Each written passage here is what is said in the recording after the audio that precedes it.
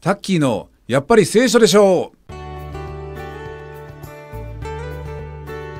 この時間はオレンジカウンティにあるカルバリーチャペルラハブラの日本語部牧師さん滝井淳さんに聖書の言葉から今日一日を健やかに過ごすためのヒントをお話しいただきます。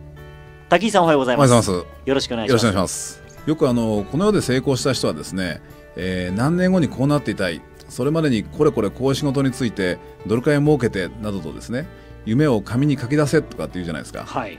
まあそれでできる人はいいですけどもできない人はどうしたらいいんだってことになるじゃないですか、はあはまあ、そういうのをですね聖書は、えー虚しい誇りを持って高ぶってるっていうんですね。あほうほ僕ら明日のことさえ分かんないじゃないですか。うはい。僕らの命はパッと出てあっという間に消えてしまう霧とかですね湯気のようなものに過ぎないって聖書を言うんですね。はい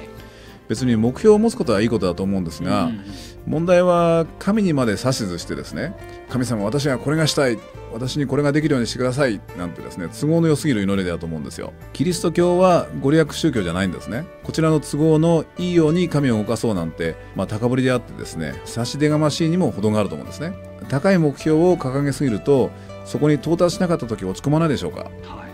僕ら日々神が作ってくれたこの世に生きているんですね。いや生かされてるって言ったのが正しいと思うんですけども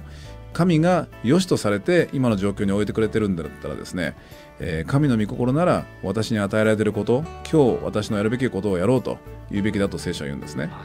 い。ですんで自分の自我を捨ててへりくだって生きていくというのはいかがでしょうか？滝井さんありがとうごあざいました。カルバリーチャペルラハブラでは毎週日曜午前11時から日本語によるカジュアルなバイブルスタディを行っています